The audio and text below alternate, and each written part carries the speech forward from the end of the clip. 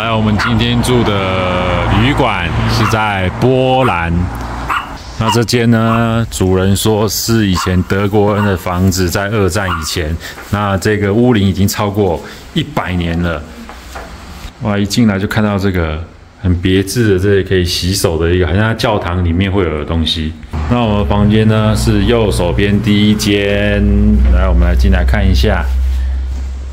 今天我们订的是四人房，还有一个餐桌，一张、两张单人床，一张双人床，这是洗手间的部分，还蛮宽敞的，备品什么都有，类烛台灯跟木质地板，踩起来感觉非常温暖，因为这边晚上应该是蛮冷的。好，这是回头一看的感觉。分享我们今天在波兰的住宿。那他这边呢，女主人说他们买了七年。那这里是他的公用厨房，瓦斯炉，这种茶咖啡，还有这种餐具、冰箱跟咖啡机都有。咖啡机，看到这个楼梯非常有感觉哦，老房子，而且上面好多标本哦。Hello。今天啊，我们要来这里呢，帮大家开箱在捷克的，要来介绍前几天我们在捷克所购买的这个温泉饼。刚好呢，我们今天入住在波兰，有一个百年的德国老房子，然后今天特别早可以 check in，所以我们就来享受一下下午茶喽。对，那这边还有提供研磨式的咖啡，我想说。这时候正是享受温泉饼的好时机呀！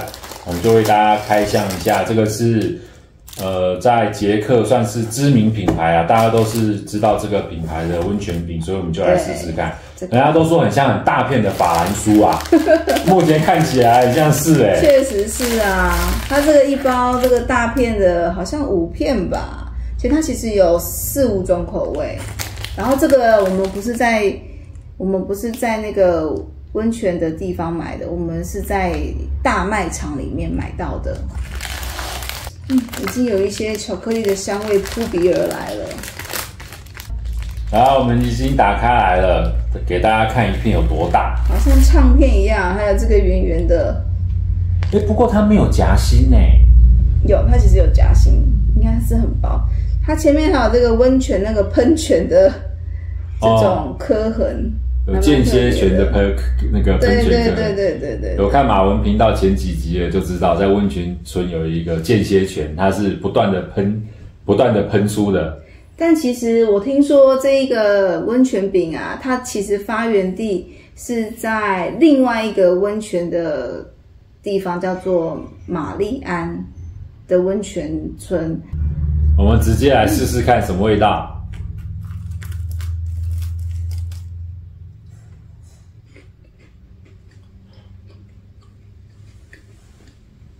哇，它其实里面也是有夹心啊！我看到它，它是蛮薄的，但是里面也是有夹一层巧克力，真的就很像法兰酥真的是法兰酥哎，就是超大片的法兰酥啊！对啊，是蛮甜的，所以真的一定要搭配下午茶或者是咖啡，就是法兰酥，对。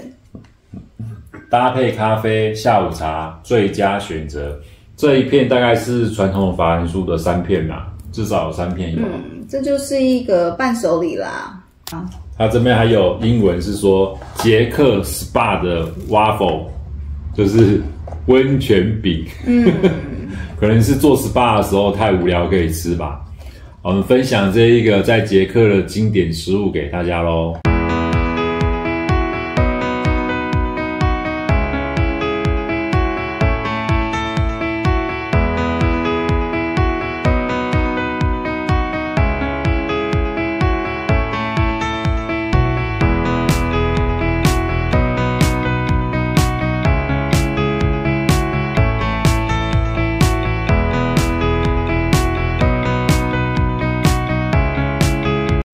们现在在波兰的建于一九零五年的大坝水坝，它这边惊人的是，这边有一个水力发电厂，到现在还在运作。就是旁边这边圆圆的两侧，它有水可以进去，然后到下游的时候，它会有一个水的落差，就可以发电。到现在还在运作哦。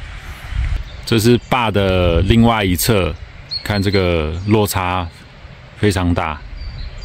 这边就可以听到水流的声音了。这边有一个，这边也有一个，然后水从这旁边进去之后，然后流到下游这个大落差。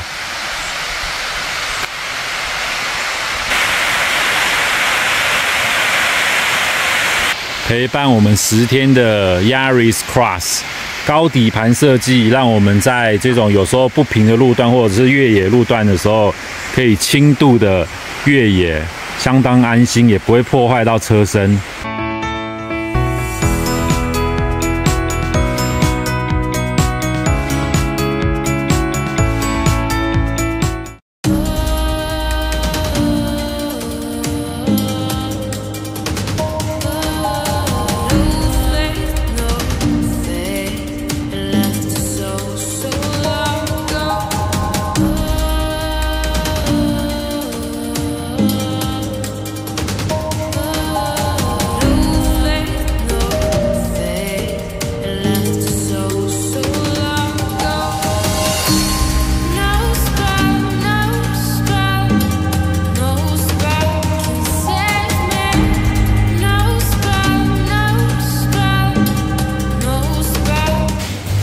堡旁边呢，也有一个啤酒厂。我们点了一杯，你看黑啤酒，趁还有泡沫的时候赶快喝。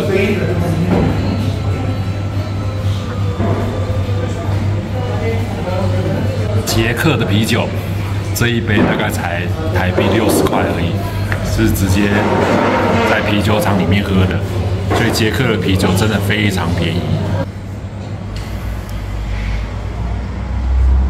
来，我们现在已经到这个 Freeland 城堡了。一到这个大门呢，就蛮惊奇的。你看这个门啊，是收在这个地底下的，它要关的时候，这个把它透住，可以这样子把它拉起来。我们现在已经走进来了，那我们已经到了这个城堡的中庭了。不过很可惜，它有一大半在整修当中，所以没有办法看到它完成的状况。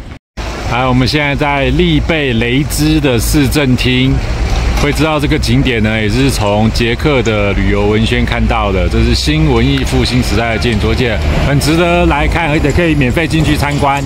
我发现捷克雕像上面有时候都会有一些金属装饰，不管是银器还是金金器，可以进去里面啊。它是在上班时间都可以进去参观。那像如果你要请导游的话，再另行付小费。